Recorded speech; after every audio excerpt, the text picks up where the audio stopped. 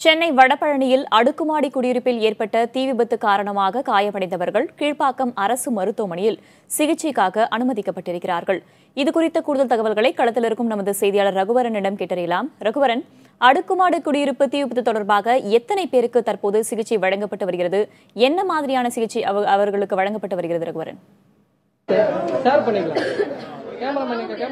தற்போது கீழ்ப்பாக்கம் அரசு மருத்துவக் கல்லூரி மருத்துவமனையில ஐந்து பேர் சிகிச்சை பெற்றுட்டு வராங்க. மார்டின் இருபத்தி நான்கு வயது தங்கம் இருபத்தி ஒரு வயது ஐயப்பன் பத்தொன்பது வயது அந்தோணி பதினான்கு வயது பச்சையம்மாள் அறுபத்தி ஒன்பது வயது ஆகியோர் தீவிர சிகிச்சை பிரிவில் அனுமதிக்கப்பட்டு சிகிச்சை பெற்று வராங்க. இவர்களை காலையிலேருந்து சுகாதாரத்துறை முதன்மை செயலாளர் ராதாகிருஷ்ணன் வந்து நேரில் பார்த்துட்டு போயிருக்காரு. அது மட்டும் இல்லாம நிதியமைச்சர் ஜெயக்குமார் தற்போது வந்திருக்கிறார். தற்போது அவங்க பார்த்துட்டு இருக்காங்க.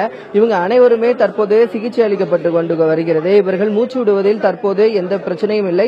ஆனால் அவர்களுக்கு நுரையீரல் பாதிப்பு ஏற்பட்டிருக்கிறது. தேவை தேவைப்படும் நேரத்தில் அவர்களுக்கு செயற்கை சுவாசமும் கொடுக்க அனைத்து ஏற்பாடுகளும் தயார் நிலையில் இருப்பதாக மருத்துவர்கள் தெரிவிச்சிருக்காங்க.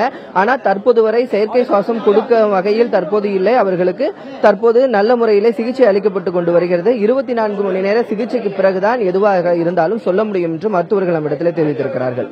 ரகுவரன் சிகிச்சை பெற்று வருபவர்களின் உறவினர்கள் ஏதாவது இது சம்பந்தமா சொல்லியிருக்காங்களா? வசந்த் தற்போது ஏற்கனவே ஒரே குடும்பத்தை சார்ந்த நான்கு பேர் மரணம் அடைந்த நிலையில அதே குடும்பத்தை சார்ந்த ஐயப்பன் பத்தொன்பது வயது தற்போது இங்கு சிகிச்சை பெற்றுட்டு இருக்கிறாரு அவருக்கு ஐம்பத்தி நான்கு சதவிகித தீக்காயம் ஏற்பட்டிருக்கிறது. அவருக்கு தற்போது சிகிச்சை அளிக்கப்பட்டிருப்பதாக மருத்துவர்கள் தெரிவித்திருக்கிறாங்க. மேலும் நான்கு பேர் அதே உயர் சிகிச்சை பிரிவுல தான் சிகிச்சை பெற்று இருக்கிறாங்க மரணம் அடைந்த நான்கு பேரும் ஒரே குடும்பத்தை சார்ந்தவங்க. பாட்டி அவர்களுடைய குழந்தைகள் மூன்று பேரும் மரணம் அடைந்திருக்கிறாங்க இவர்கள் அனைவருமே மூச்சு திணறல் காரணமாக தான் மரணம் அடைஞ்சிருக்கிறாங்க அப்படின்ட்டு சொல்லியிருக்கிறாங்க.